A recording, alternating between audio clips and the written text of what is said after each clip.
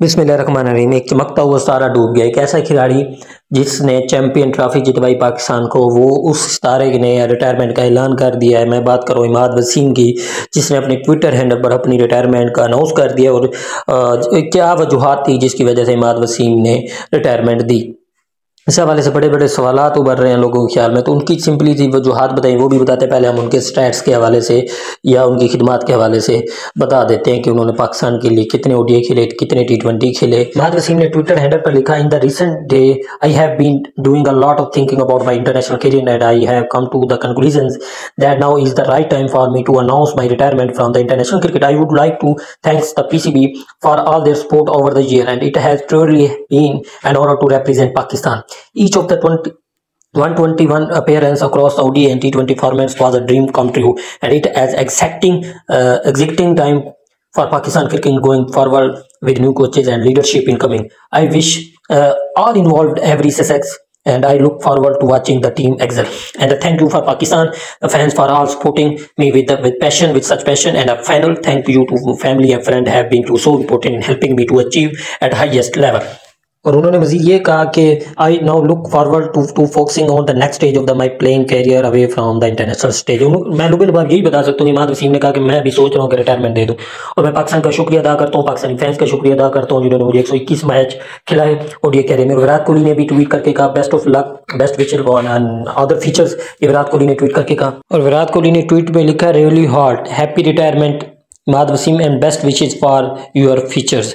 तो विराट कोहली ने भी कहा कि आपको अपनी रिटायरमेंट से मुबारक हो मगर उन्होंने एक सैडनेस का एक स्लोगन भी डाला एक स्टिकर भी डाला हुआ था पर एक चमकता हुआ सारा डूब गया।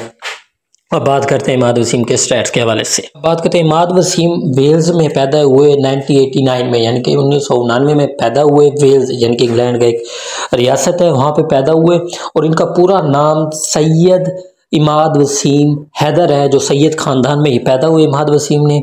और 2004 से अब पाकिस्तान आ गए और यहीं से अपना क्रिकेटिंग कैरियर स्टार्ट किया इस्लामाबाद में। फिर इमाद वसीम ने टोटल 121 मैच खेले पाकिस्तान की तरफ़ से।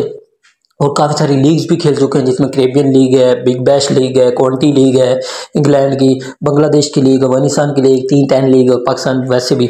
तो ये सारी लीग्स खेल चुके हैं और, एक टी ट्वेंटी के बहुत मायनाज, एक बहुत बड़े स्टार खिलाड़ी भी हैं।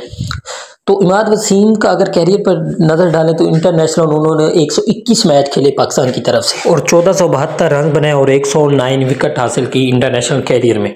और इमाद वसीम ने अपना डेब्यू 2015 में किया, ओडीआई का भी। और देखा जाए टी ट्वेंटी का भी। ओडीआई का जो जो डेब्यू था, इमाद वसीम ने श्रीलंका के खिलाफ किया, जबकि टी ट्वेंटी डेब्यू 2015 में जिम्बाब्वे के खिलाफ किया। देखा जाए, इमाद वसीम ने अपना आखिरी ओडीआई देखा जाए तो 2020 में खेला था यकम नवंबर जिम्बाब्वे के खिलाफ, और अपना आखिरी टी ट्वेंटी चौबीस मार्च दो हज़ार तेईस न्यूजीलैंड के खिलाफ खेला। और देखा जाए तो ओडीआई रैंकिंग पे भी, देखा जाए नंबर वन रहे टी ट्वेंटी रैंकिंग में भी नंबर वन रहे, और अभी भी वो टी ट्वेंटी टॉप टेन में शामिल है। चौंतीस साल की एज में उन्होंने अपनी रिटायरमेंट का ऐलान किया और अपने कैरियर का अख्ताम किया। उनकी सबसे बड़ी वजह जब रिटायरमेंट उन्होंने जो अपनी की, सबसे बड़ी वजह ये थी कि जो रिटायरमेंट दी, वो ये है कि क्योंकि उसको पाकिस्तान में इतने चांस नहीं दिए जा रहे थे। पीसीबी की तरफ़ से उसको एनओसी ग्रांट नहीं किया गया, नहीं दिया गया, जिसकी बुनियाद पर उन्होंने रिटायरमेंट का ऐलान कर दिया टी ट्वेंटी खेलने से। तो उन्होंने तमाम इंटरनेशनल कैरियर से रिटायरमेंट इस वजह से ली ताकि वो अपना फोकस अब जो है वो लीग्स पर डाल सकें से टी ट्वेंटी क्रिकेट खेलें और इसके अलावा उसकी कोई रीज़न नहीं है। पीसीबी ने शायद एनओसी नहीं दिया, जिसकी बुनियाद पर इमाद वसीम ने रिटायरमेंट का ऐलान कर दिया और अपना सारा फोकस अब लीग्स पर रखेंगे। इसके हवाले से अपना ट्विटर हैंडल पर अपनी रिटायरमेंट का ऐलान किया और सबसे हैरत की बात है, जो इमाद वसीम अपने बॉलिंग एक्शन से भी बड़े मुनफरद हैं। लेफ़्ट आर्म ऑर्थोडॉक्स उनका बॉलिंग एक्शन है, जो कि मुझे किसी किसी बॉलिंग के पास था और पहले ओवर में विकटें लेना इनकी एजाज़ की बात थी। और ये दुनिया के वहद बॉलर थे, जिन्होंने ए बी डिविलियर को ओडीए में ज़ीरो पे आउट किया। ए बी डिविलियर अपने पूरे कैरियर में डक पर एक बार आउट हुए थे, जो इमाद वसीम ने विकेट ली थी और दो दो हज़ार सत्रह के चैंपियन ट्रॉफी में भी इमाद वसीम ने ए बी को डक पे आउट किया और उस टीम को चैंपियन बनाने में इमाद वसीम का अपना एक बहुत बड़ा किरदार है। और इमाद वसीम ने टोटल ओडीआई पाकिस्तान की तरफ़ से पचपन ओडीआई मैच खेले, जिसमें से नौ सौ छियासी रन बनाए। और अगर देखा जाए तो ओडीआई में चौतालीस विकटें भी हासिल की।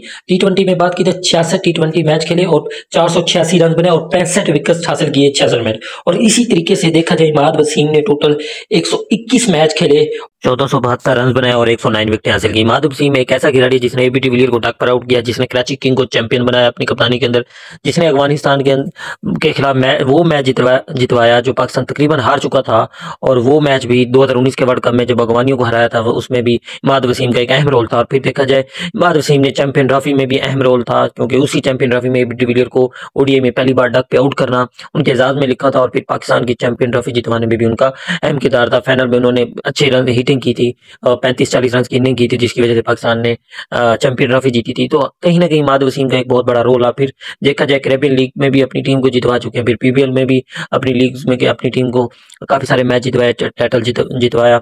तो इमाद वसीम एक हीरो है, वो हीरो अब डूब चुका इंटरनेशनल क्रिकेट में। बाकी उनकी डोमेस्टिक और लीग्स का भी दौर शुरू हुआ है, क्योंकि उन, उन्होंने रिटायरमेंट इस वजह से थी कि अपना सारा फोकस लीग्स पर रख सके।